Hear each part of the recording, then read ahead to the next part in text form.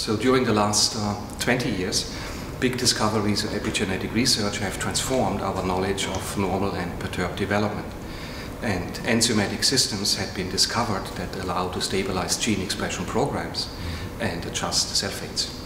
Well, today's symposium will, uh, will bring together a, a, panel of leading experts in epigenetic research from basic research uh, to understand the development of, of inhibitors, to understand modification of DNA by DNA methylation and cell fate uh, decisions. And it will also be built uh, an important bridge to connect researchers from basic research to the clinics, which will be very important because on the one hand it is essential to understand the mechanisms, but on the other hand, it's also very much important to see how that is relevant for, for clinic and for the treatment of human disease.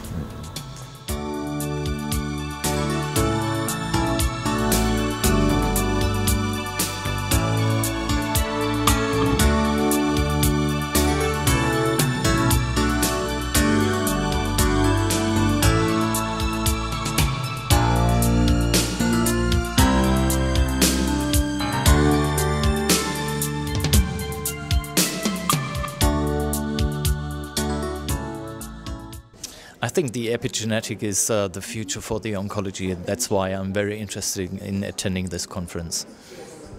Oh, it's a good lineup of top epigenetic scientists here. It's close by. I'm from Munich.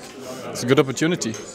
So to me, it was mainly educational because I'm not really familiar with um, epigenetic control of um, of the genome in cancer but we made a very successful and nice cooperation with 4SC and using an HDAC inhibitor, I'm a clinical doctor.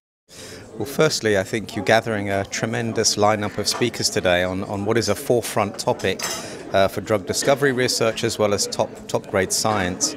So, the reason was to meet these people, to get engaged in the community, and of course, to find out what you're doing here at 4SC. Maybe there would be a possibility to, to develop drugs which are which could be really effective for cancer patients and uh, to control more the epigenetic uh, um, well diversity and uh, well to bring this to drugs.